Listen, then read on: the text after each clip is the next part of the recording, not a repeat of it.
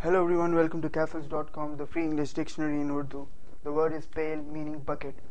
मतलब जो बाल्टी होती है जिसके अंदर आप पानी भरते हैं उसको हम पेल कहते हैं इंग्लिश के अंदर बकेट भी कह सकते हैं पेल भी कह सकते हैं I fill water in the pail मतलब मैंने